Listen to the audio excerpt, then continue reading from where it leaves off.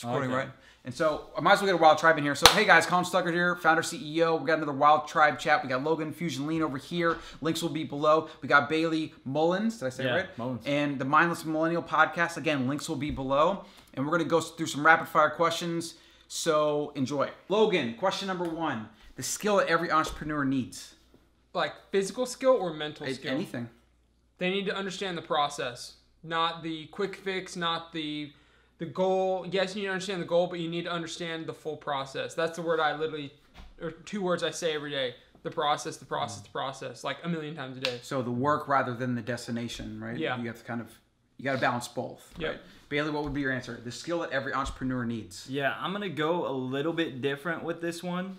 Um, I'm gonna maybe not every entrepreneur, but I would say vision. I would say you need to, if you're gonna be a true innovator and entrepreneur, you need to have this it factor where you can create this thing that it was coined by Steve Jobs called the reality distortion field, and basically take something that was previously believed as it can, didn't exist, it wouldn't exist, it's impossible, and be able to make it possible and lead people there. So you got to you got to see what people aren't seeing, mm, right? Exactly. So you got to see your version of reality, right? That others might not see. Sure. And uh, bring people in on that. Right. I would say my number one skill every entrepreneur needs is to be able to deal with stress constructively, Mm-hmm. right? Because stuff breaks. You got to pay taxes. You got to pay bills. The government comes after you. You get sued. You, I mean, literally everything I just named, it's happened to me. Uh, people, your your ex partner steals seven thousand dollars from you. Uh, coaches in your gym steal hundreds of clients and open up competing gyms and try to under, undercut your prices. I've literally had every single thing you can possibly imagine happen owning multiple brick and mortars. You know, I've been doing this thing for 12 years now, ri- right? And so if you can't figure out how to take all those things that that break and that go wrong and funnel that into motivation, you will get crushed. I know we're going like off of script here, but I wanted to ask you a There's question. no script. Go for it. What what made Wild Food stick that didn't stick with these other businesses you started? Well, the other businesses were profitable businesses, but they weren't scalable enough. Mm. So I had a juice bar and a gym, nice little business, right? It paid for my life for like five years, mm. right? Then we had the CrossFit gym, and that was good, made money, you know, it was enjoyable, I was making a difference, but it wasn't something that could reach millions of people, right? Hmm. And so I always knew that I needed to move out of Fort Myers, Florida. I needed to go west where the people were had cool ideas, were doing cool shit, right? And so I just knew ultimately that I had to go elsewhere. Hmm. And because I knew that, I kind of divested myself slowly, slowly, slowly, and then eventually like packed up my car and was like, I'm driving to Texas to see what happens, right? Hmm. And the, the plan was if I didn't like Texas, I would go to Colorado, and then if I didn't really want to stay there, I'd go to North Carolina and end up there because I love the Carolinas. And I basically got here in Austin, and I got an apartment a week later, right? And so that's, Nice. that's pretty much the baseline story. All right, so question number two. One book that changed your life and a very brief why. Logan. Oh gosh, um, it's so hard to answer. Um, You gotta pick one. how to win friends and influence people. Well, I'm gonna give a different answer because I think I, I I think I answered that same one. I'm gonna say probably probably Relentless by Tim Grover. See, I wanted to read that because I saw you post that. Such a good book, and Tim Yeah? Grover actually responded to every message I tagged him in. oh, really? That's Yeah. awesome. But yeah, no, basically, uh, I, my my high school basketball coach actually gave me that book, and it was like, Logan, read this book. Mm-hmm. What's And the was- premise in like a brief synopsis? It's just there, there's there's you know there, there's three different categories of different people. There's people who sit and talk about things, but they don't actually do it. Yep. There's people who sit and, and, and think about it, But don't do it. but then debating themselves. Mhm. And then there's people who are actually doing it. Mm-hmm. And there's I, f- I forget the three names of it, but he basically goes into these three categories in every single chapter, and like you know talking about the difference between Dwyane Wade, Michael Jordan, like the best athletes on the face of the earth, and why are they the best best athletes? Because they have a mm-hmm. relentless mentality. It's not like I'm born that way, or like you know I'm just I, I'm naturally skilled. They Like- always show up after. They always stay later at practice. They show up earlier. Oh well, they he, do like Kobe. Yeah, he like, talks about the work that they because he Yeah. trained them. So he talks Yeah. about the work that they put in. That's just mm, like not human. Like you know. Yeah. Larry Bird. They asked him right after like a successful season, like, so how long you gonna, you know, what are you gonna do in your off season? He's like, well, I got about a week, and then I'm, I'm back to training. Yeah. And like while a lot of the other athletes, like just they'll eat like crap, they'll they'll relax, whatever. He he he got right back to it because that's what he loved to do. Yeah. Right. You got to do one book. How to get a meeting with anyone, anybody. That's the name of the book. Yeah. I've never heard of that. So it's it's about contact marketing, uh, which basically kind of overlays how basically how you would get a meeting with anyone. yeah. Um, And you've used those techniques to network with people? Yeah, so one of the things it actually says in there, and it's kind of an older book. So it said it, it, podcasts really weren't a thing yet, but it said start an internet radio show. Um, and I had already started the podcast before I read the book. So once I read that book, it like solidified. Okay, I'm doing something right.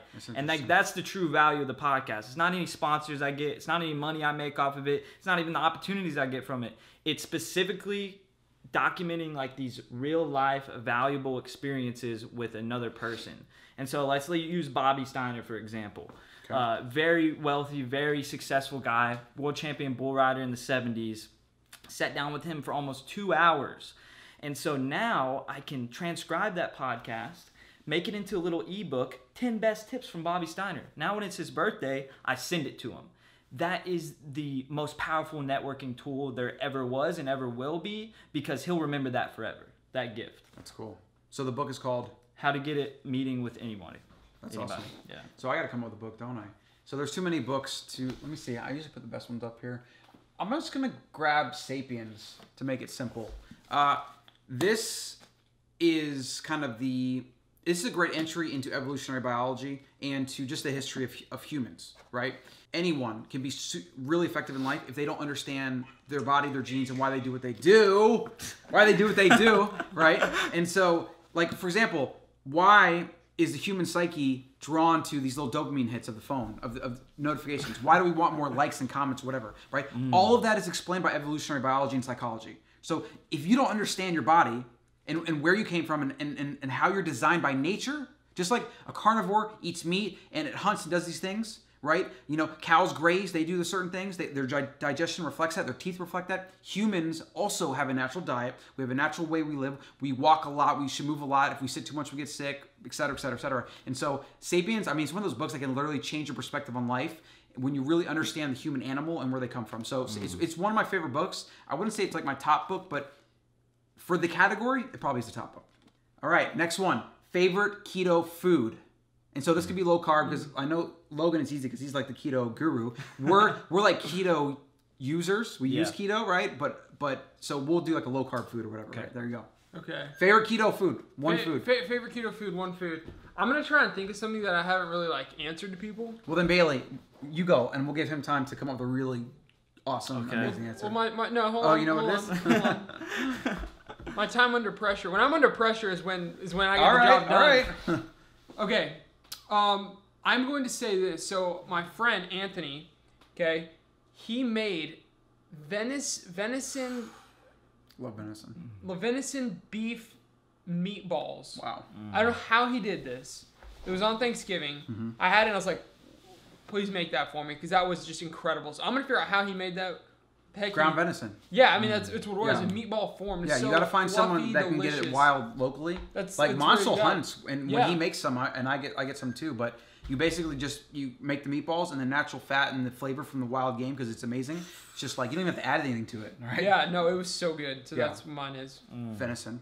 That's a that's a steal right there. Venison's amazing. Any, Yeah. Anything wild. How can you top Uh, that? I mean, it can be anything, any low carb favorite food. Like if you had to pick You know, one. like I, I was trying to think of like some type of like, bar or like some nuts or something like that, but what popped in my head was like sautéed Brussels sprouts. There you go. It's like Okay. candy. You add like one thing I used to do. I don't really do this as much anymore. But you you, you add like olive oil because I use coconut oil now. Mm-hmm. But if you use olive oil with Brussels sprouts, sea salt, and then some Worcester sauce, it, it tastes like candy. So You, it's because you're caramelizing, Yeah. caramelizing those natural sugars. Yeah, so good. Uh, my favorite keto food would probably be either oysters or sardines, and not because I, I, I mean oysters are great; they taste great. Like if you do it right, like you can really Yeah. like oysters, right? Uh, sardines, and it's kind of a, uh, a it's kind of a developed flavor or a you know like tolerable with enough time. I know you kind of like them, right? You can definitely Oysters? I've had them. Sardines. Sar- oh yeah, sardines I love. yeah, I don't love them, but I love what they do for me. Sardines, mm. oysters are some of the most nutrient dense, well rounded foods found in nature. In fact, I think uh, oysters might be the most nutrient dense food in, in, in the world. Like it, iodine, fats, all the things that are there, all the minerals of B12, etc., is there. Uh, sardines, another thing, because it's a whole fish and it's a fatty fish. You're getting the omega 3s, you're getting the protein. Every single piece of the animal that you're eating is just what your body needs, And right? For travel, right? Well, yeah, and you can You pack have them and cook it. yeah, exactly. You literally eat it out of the can, some salt or add some mustard or whatever. Sriracha is actually really good, and so yeah, let's do let's do one more and then wrap it up for for today. Uh, well, we did that one. We did that one. Keto that one. food snack. We did yeah, we did the snack. I'm just gonna say hot sauce, the best keto food. I bought some some sweet sauce. well, what's a brand or a style? Because there's a million different of that, right? I like that Austin-based company. It has a tiny bit of sugar in it. Uh, Uh, the bird, yeah. something bird or yellow That's bird really or good. something like that. Yeah, Yeah. They, yeah, they do put cane sugar in it, unfortunately. Yeah. Right. So What's the question? So like, It's kind of a pay. I don't know. I'm coming up with another question. Okay, how about? All right, this is a good one to end on. Actually, we'll end on two of these. So, on a scale of one to ten, how confident are you, Logan? uh, times a million. Well, I'm not, I'm not- okay. like, okay, so like I don't want. But but be practical, right? Because no one's 100 percent confident. Like we always have things that we feel like we can okay, do better on. Okay, so I'm gonna put it this way. I, I- I don't know if anybody's really gonna get this, but me, I'm one out of ten confident. Okay, so that side of me that's one out of ten, I mm. take the other side and bring it ten out of ten. It's it's it's a hit or miss. Either I go to the side that's one out of ten, or I go to the ten out of ten. So basically, I have to want the success more than the fear.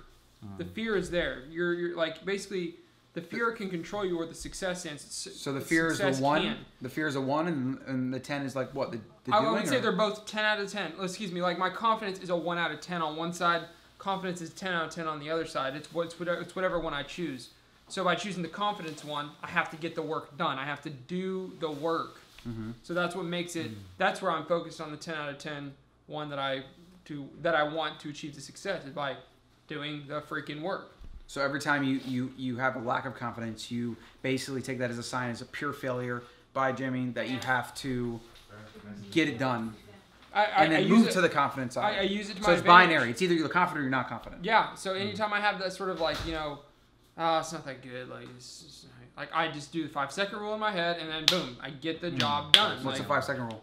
You gotta read the book. I did. Amazing. I did. I'm asking rhetorically. I'm Yeah. asking for them. Okay. so it's like you count in your head, like you know, you know you need to do something. You're thinking about it, and then you just go five, four, three, two, one, and then boom, you just get it done. You just do it. you just take action. You don't you don't analyze. You don't think about. Yeah. You just do it.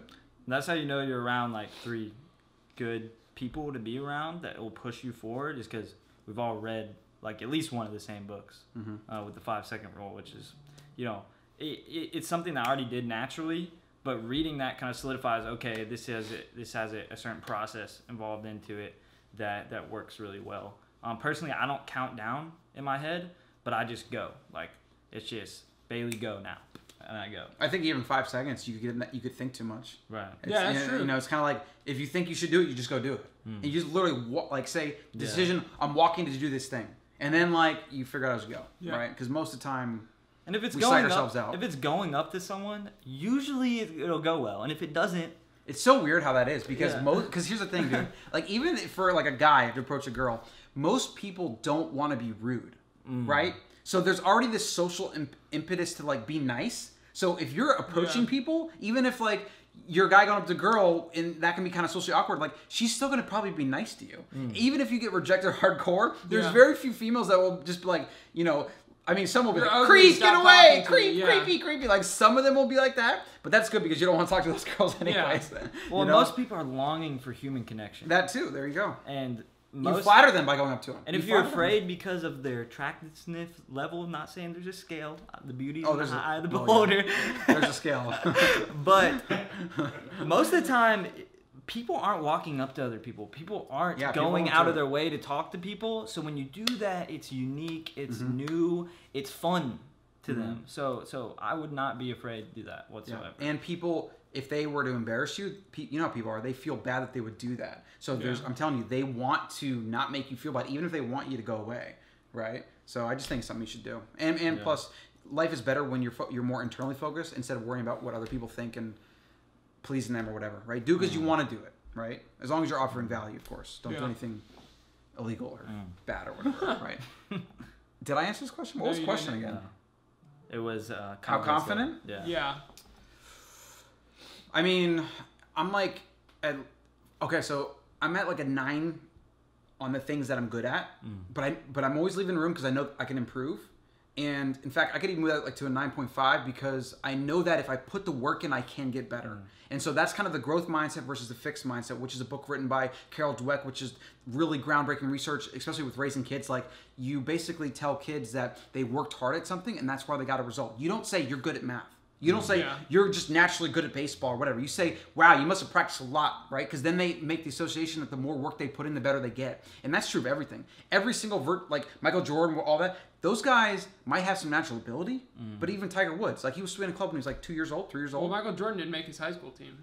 Exactly. And there was another rejection, I think, by one of the coaches, right? Like, he's Yeah. like, you know, you're not good enough yet, whatever. And he got super pissed and he's like, I want to show you, you know? So, uh, I would say nine for the things I'm good at. The things I'm not good at, you know, I probably put it like a five to six. But but then I again I know that I can work on those. So it kind of just is whether I'm going to spend time to get better at it or not, right? But uh, I think the biggest takeaway for people is like when you can realize that no, no one's perfect. Uh, you know, everyone is insecure in the, the various ways, and in our digital day and age, the people that are out there in the ring, like the Winston Churchill quote, he was like the guy that's in the, the, the arena, like the blood, Yeah. sweat, and tears. Like that's the guy that matters, right? Everyone else from the Yeah. sidelines, the critics, the haters, whatever. Those those guys, they're the they're the the peanut gallery, mm. right? Like, and the more you can realize that and just ignore that, or even use it as fuel, better mm. off you are. Mm. I still haven't went yet. But I'm gonna get Ezekiel. You didn't go? No. Okay, good. Can I, can I, can you uh do a story for me? And then if you could like walk from kind of behind the light. Oh, look at the producer side's coming And out. It's got to be set up the right way, guys. You get what I'm saying? You might want to move Logan's camera, but come like with the camera angle from behind the light and come around and like, yeah, on Instagram. just a just story? A, story. We yeah, just it. a story. Just the 10 second. This will be closing out, guys. So I'll do the outro right now while uh, we get this going.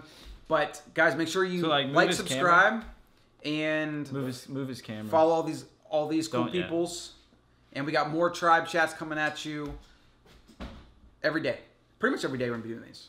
I think I missed. Are we ready? Are we, are we ready for your story Yeah. or, or your your 15 seconds of wisdom? That's so come from behind it, like more behind it, to where you can't see us. He wants you to start behind the, Yeah. the light. So Yeah. So back up. and then he wants you to Yeah, fade exactly. in. There you go. Fade in and come around like the side. Okay. It's all about the angles. Um, so I'm gonna basically flip it on the head for y'all. Like, I'm gonna do 10 out of 10 because the stuff I'm really good at, I believe I'm the best. But the stuff I'm not good at, I'm 100% confident I'm not good at it, and I'm honest with myself that that's the case. So the confidence level doesn't go down, just my ability level does. So I'm always honest with myself and you know live in the opposite of fear. Like I don't have any fear in my life, and that's what empowers me. Logan, So- he, he he's too confident for us. We, we gotta get up. We gotta we gotta go. hold on, hold on. So when so when because I've I've hit a lot of bad things in Sure. Business. I'm, I'm Sure, He has absolutely. Yep. Have you hit something that is just like Yeah. What's like the biggest hit struggle? you in the face? That's just like, I mean, like you couldn't sleep at night. big Yeah, stress. yeah, I mean, yeah. has that happened to you? I mean, that's happened uh, many times. And like the way I look at that is like when you hit a roadblock, basically your car is gonna stop, right? Mhm. But there's there's always friction, like the resistance, like you said. And I look at it in the car analogy. You got to keep the gas going to go forward. You hit a roadblock, you're gonna stop. You can choose. You have one or two choices at that point. You allow resistance to pull you back, and you start going Yeah. backwards, or you fill up your car, you hit the gas, and you go again. And so, yeah, that's happened.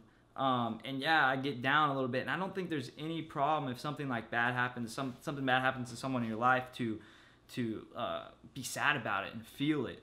But that next decision is what matters. It doesn't matter if you fail, but that next decision does matter. If you choose to succumb to that failure or you choose to overcome that failure.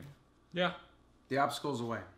Two. To, That to, was one to, of my favorite to expand books. on what you're saying, when you hit the roadblock, what what like Holiday recommends in the book, and a lot of. Stoic philosophy, whatever is that thing that's in your way is the very thing that you have to overcome to get to the next level, Hmm. right? And so what a lot of people do is they'll hit a roadblock and they'll try to like meander around, like peek around the side. Maybe they'll throw a rope over and climb over. No, you literally have to bust through the freaking thing, right? You got to bust through the thing and win in whatever way that means, and then you're gonna be better off for it. So I think that's a good place to wrap up, guys. Uh, subscribe, like everyone. All the socials will be below. And Comment below what y'all's what what what book changed y'all's life. yeah, that's a good one. One book, right? One book. Yeah. Or 10. I Actually, I love book recommendations. You can comment 100 books. I'll, I'll buy them all and we'll load up the shelf. Okay, guys, all thanks for watching.